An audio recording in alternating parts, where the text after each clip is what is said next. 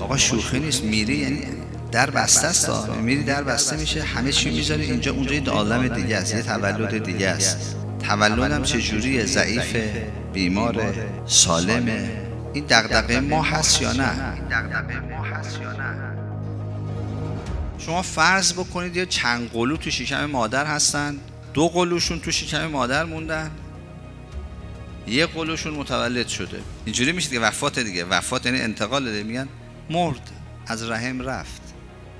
اونی که بیرونه بشنوه میگه چی میگید؟ شما بیاید این ور ببینید چه خبره. مرد چیه؟ مردنی وجود نداره مرگی نیست اصلا. بیاید ببینید دنیا چه خبره ما کجا زندگی می‌کردیم اینجا چه خبره؟ اینجا چه قوانینی هست چه جاهایی هست نسبت به رحم؟ اصلا قابل مقایسه نیست. این وریا گریه می‌کنن براش اون ور خوشحاله میگه شماها بیاید بیرون زودتر. آیه قرآن دیگه؟ میگه به کسایی که هنوز ملحق نشدن بهشون بشارت میدن میگم شما زودتر دنیا بیاید بیرون زودتر. اینجا خیلی خبراست اونا هم که مردن رفتن جایی بعد میگن درست زندگی کنید. ما خیلی گرفتاریم اینجا وقتی یه شهیدی که در رکاب پیغمبر شهید شده به خاطر بد اخلاقی تو خونه فشار قبر داره تو دیگه تصور کن بقیه رو.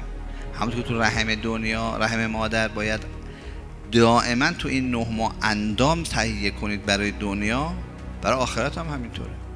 اما چقدر آدم فکر اینن که بریم یه جایی ببینیم یک کسی می‌تونه ما رو با ابدیت آخرت آشنا کنه؟ برم یه جایی مثلا این آیات قرآن رو در مورد آخرت بفهمم روایات رو بفهمم بهش چیه جهنم چیه شرایطش چیه مثلا تولدمون به اونجا چیه جدی ترین مسئله که باش به دنیا آمدیم فکر کردن در مورد معاد مطالعه کردن در مورد معاد.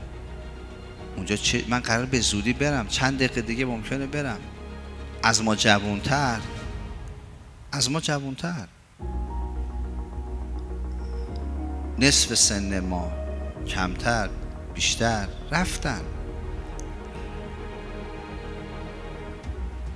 آقا شوخی نیست. میری یعنی در بسته است میری در بسته میشه. همه چی می‌ذاره اینجا. اونجا یه عالم دیگه است. یه تولد دیگه است.